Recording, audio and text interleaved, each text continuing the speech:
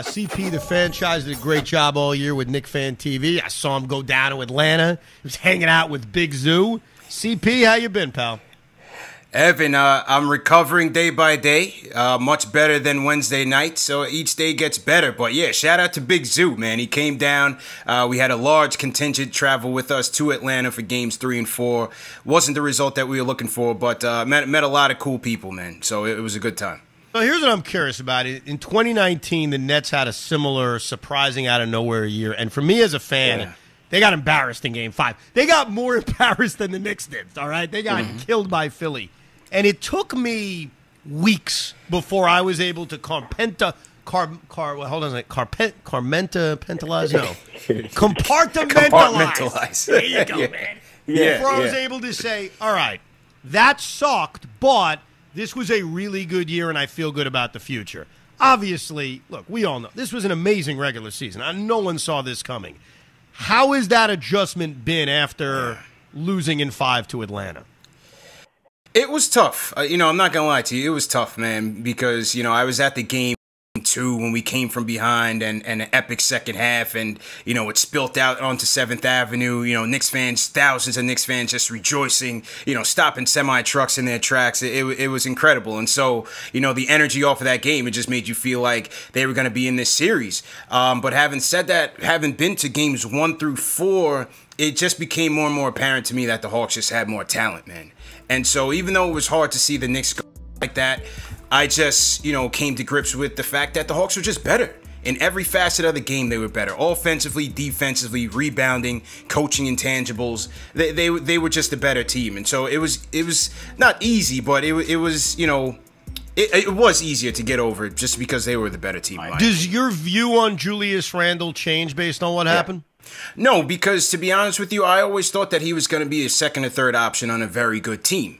Now, uh, it's unfortunate. I'm, you know, disappointed in his performance. I mean, this guy averaged 37 points per game against the Hawks in their regular season matchup on 58% shooting, 50% from three.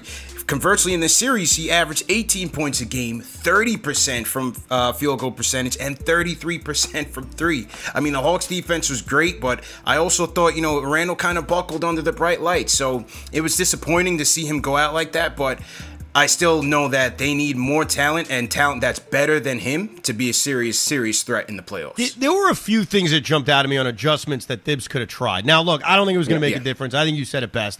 Atlanta is a more talented team, and yeah. they yeah. kind of proved it throughout. Was there anything? Because to me, it was more of Obi and Julius going small, try to get Capela off the court, try to spark this offense a little bit. That and anything else, your view on things that maybe Thibodeau should have tried differently in this yeah, series? Yeah. Yeah, that was a key because Capela really did not have to work defensively in terms of his one-on-one matchups because neither Taj Gibson nor Nerlens Noel were going to be a threat from the perimeter, and so you know they were able to guard Julius Randle quite easily. Number one, with DeAndre Hunter being a better on-ball defender, and then having Clint Capela shadow him. So you would have wanted to have seen them go to Obi in some spurts. Now you're going to lose some on the defensive side and, and, and in terms of rim protection and, and also in terms of rebounding, but offensively it would have been nice to see them go to Obi uh, and Julius tandem just to see if they can move Capela away from the basket. And defensively, I was looking for Frank Ntilikina uh, in this matchup because the Hawks have so much potency on the perimeter, whether it's Young, Bogdanovich, Huerter, uh, Gallinari, you know, Lou Williams. They have so many guys that can not only hit the three, but that can put the ball on the floor and really stretch a defense. And so I was looking that when Thibodeau took Payton out of the rotation, that he would find a way to get Ntilikina in there in in in spots, you know, ahead of Bullock, maybe in term, in maybe even ahead of Barrett sometimes, just to get some sort of defensive intensity in there to help slow down this high octane Hawks offense. You know what I was thinking, and I think you disagree with me because I was listening to one of your episodes, and I, I, don't think you agree with this, but correct me if I'm wrong. And that was yeah, when yeah. he took Payton out of the lineup to actually start Frank to keep Rose in that same spot of giving you that spark yeah, off the bench and actually starting Frank Ntilikina as opposed to Elfrid Payton. There, there was a bit of a ripple effect because it did impact the second unit. You know, put more pressure on Alec Burks and Immanuel Quickley to generate offense for that second unit.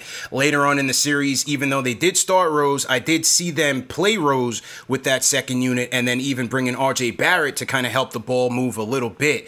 Starting Frank, though, Evan, you know, the times that they did start Frank this season were a complete disaster. He came in in injury duties, uh, in particular in San Antonio, and he came right out within five minutes because there's just not enough ball movement, not enough flow to your offense, and you're stuck moving east and west rather than north and south, which is what Rose can do and really put pressure on a defense. So I think Thibs' hands were tied, but overall it just spoke to the lack of depth that we had at the point guard position. We're talking to CP, the franchise, did a great job with Knicks Fan TV throughout this season.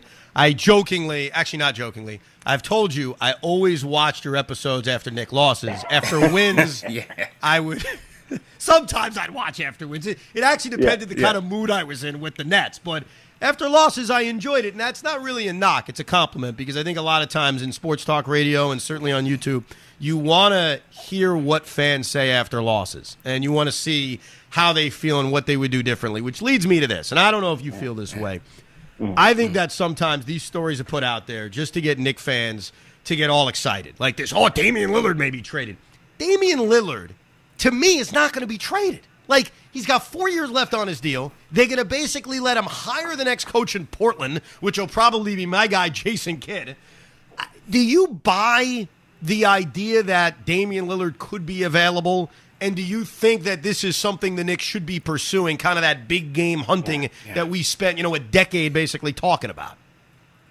I, I can't stand it, F. You know, whether it's the KD Kyrie speculation, it's Zion, it's LeBron, it's Kawhi Leonard. Now, you know, Kawhi Leonard's uncle is a Knicks fan, so maybe he's going to come to the Knicks. And it's, uh, I can't stand it. I was trying to take a vacation. I was trying to take a little breather after this long season, and, and I just went live last night to talk about this Damian Lillard situation. Look, you know, it, it was reported in Yahoo Sports that after they fired Terry Stotts, that Damian Lillard prefers Jason Kidd. I think it's a very remote possibility that he would, you know, request a trade and that the Knicks would be in position to get him. You know, right now the Knicks should be focused on continuing to build with the assets that they have. Yes, they need to improve in a, in a talent standpoint, but gutting the roster to bring a 31 year old Damian Lillard here, who's going to be owed 48 million dollars at the end of his contract, with you know nothing else to build with. That's the Carmelo Anthony trade all over again, if you ask me. And so he's my favorite player in the league, Evan. I would love to have him. But you know, it just that type of trade just does not make sense based on where the Knicks are right now. They need to continue to rebuild and keep building through the draft until they can, you know, make moves in the future. What are you doing tonight at about seven thirty? Um, I'm guessing that's when my Milwaukee Bucks uh, take on the New Jersey Nets. And I'm You, going you, all wait, in. hold on. Hold I'm okay. You say that as if that's a dig. You have to understand. I know that there aren't a ton of diehard fans, and you make that clear sometimes on Twitter. Like the Yeah. comment that really, I don't want to say pissed me off because I get it. But the comment that annoyed me was like, your parade is going to feature Andrew Yang, Michael Rapaport, and Evan Roberts. Spring, sprinkling a couple hipsters, you know, a couple techies around Fulton Street, you know. But the but the, here's what's funny: the diehard net fan, because there are diehard net fans. Again, I'm not I'm not one that ever says it's our town or we're taking over. I don't believe that. Yeah. this is a Knick town, and I respect that. But the diehard net fan is a New Jersey net fan. So when Yeah. you call us New Jersey, a guy like me doesn't get offended. I'm like, yeah, I think about my days growing up as a Nets fan.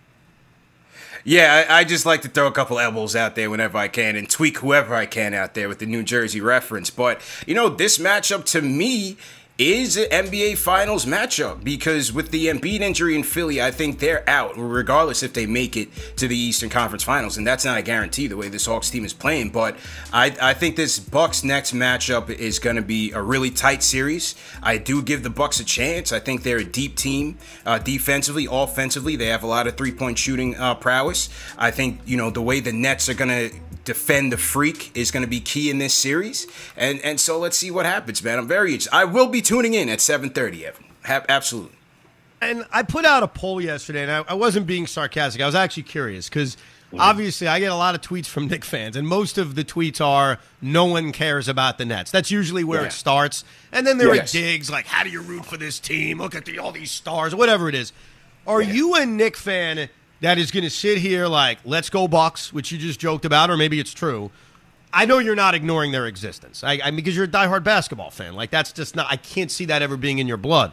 So do yeah. you look at this as kind of like the old Met Yankee thing, where Met fans spend every October just rooting hard against the Yankees? You hate them, and you you kind of lean into it. Like, yeah, I don't like the Yankees. Is that where you are with this net team?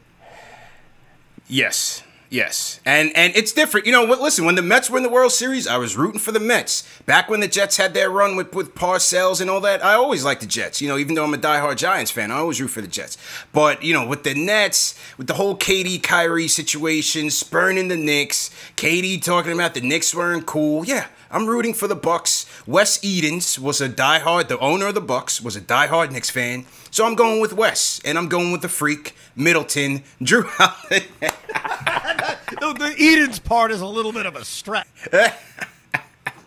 I'm, I'm grasping for straws, Evan. But yes, anything I can do to support this Bucks team, I'm willing to do it. Dude, I respect it. I mean, I, I, I always try to be honest. Like, I watch every Knick game. I try to be fair about it, but I can't stand your team. And, and you'd understand why. I mean, as a Net fan, you grow up as little brother. You grow up as everybody's a Knick fan. So naturally, you're going to hate the other team. And I, I think that's healthy. I think there are more Knick fans like you that are just going to hate the Nets during this run as opposed to this facade of, well, I don't care. I'm just not going to watch. Who cares? They're irrelevant. I don't even know they're still playing. You know what I mean? Uh, I'm rooting actively against them. And look, with the Lakers being out, and Philadelphia losing Embiid, I mean, like I said, I really see this series as potential NBA Finals. And if they get past the Bucks, I don't see anything stopping them from bringing the title to Brooklyn. And yeah, it would hurt. You know, I'm certainly not trying to see that. So let's go Greek Freak. I'm going Bucks in seven. Let's get it going. You know what scares me about these series, and I think it's because of the experience. It's the little guy that scares me. Obviously, we know how good Giannis is. We don't have to waste our time. How are they going to defend yeah, him? Yeah. Hopefully, a lot better than the, what they did in the back to back, where basically Nash said, "We'll just give you every shot in the world," yeah, and they give him confidence when he starts hitting it. But it's it's Bryn Forbes that scares me because I watched him during one of the regular season games hit like five threes against us. I remember yeah, Speedy yeah. Claxton in the NBA Finals in 2003. It's those little guys hitting big shots that always scares the crap out of me in a series like this. I, I, mentioned it on another show. I said, do not sleep on Bryn Forbes, you know, Connaughton, those type of guys. But I think Middleton is, is really going to be the most important in this series because uh, we saw in the series against the Heat that they relied on him to be their closer. I thought that was the right move by Budenholzer. And and I think his his productivity in this series is really going to be key in supporting, you know, what Giannis does. Obviously, Giannis has to, you know, put up his production as well. How about the, the renaissance of Brook Lopez, the, the former net? I'd love to see Brook Lopez, you know, get some revenge on his old team. That that'd be a great story, wouldn't it? That'd be a fantastic story. um, who who do you think wins Game Seven? By the way, tomorrow between the Clippers and the Mavs. Man, that this is the most interesting series of the playoffs to me because both teams won on the road. And, you know, you've seen the brilliance of Luka Doncic. He's been absolutely unguardable in this series, but Kawhi Leonard just put on a masterful performance in game seven. I, you know, I got to lean with the home team. I'll give it to the Clippers, even though I don't like their supporting cast that much. I don't really trust them. Uh, but I'm, I'm going to give it to the Clippers and, and count on a, another solid performance by, by Kawhi Leonard, supported by, by uh, Paul George and, and, the home team. I think they'll take it in, a, in another close, close game. Ask you this, and there's a reason I'm asking it. Who do you mm-hmm. want to see win Game Seven? Who are you rooting for? I got to root for the Clippers. Really? The reason I, I, I can't. I yeah. get it. I get it. the obvious answer because of Porzingis. I totally understand. Yes, yes, yes, yes. The reason I ask that with intrigue is if the Clippers get knocked out, you know what's going to happen. Now I know you don't believe it, but you know it's going to create the oh maybe Kawhi opts out talk, and gives your team that chance of hey maybe Kawhi is going to come to the Knicks. So you're not even giving that enough serious thought to root for Porzingis and the Mavericks against the Clippers in a game seven. You know, I just can't see Kawhi Leonard flipping around like that. You know, he made the decision to go to the Clippers, a conscious one, because he could have went to the Lakers and, and they would have built a dynasty there. He chose to go to the Clippers back home in LA to start something on his own. He brought Paul George there. You have Steve Ballmer, who's an absolute nutcase. I think he'll he'll move heaven and earth to keep Kawhi there. So I just don't see why, you know, what the incentive would be for him to leave the Clippers, leave more money on the table, and come to the Knicks. So, you know, I'm rooting for them. I'm rooting for them. I don't want to see, uh, not even Porzingis. Tim Hardaway Jr. is having an electric series for these Mavericks, man. He's been unstoppable, unguardable. It came yesterday. It's got Maverick fans convincing uh, Knick fans. Actually, we gave up those first round picks for Hardaway. It's the Tim Hardaway trade, yeah. not the Kristaps Porzingis. Yeah.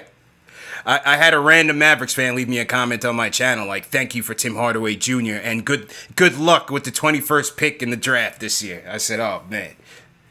Hey, great job all year. You've done a great job with that YouTube channel, Knicks Fan TV, for anyone to check out. And uh, thank you for your honesty that you want my basketball team to lose.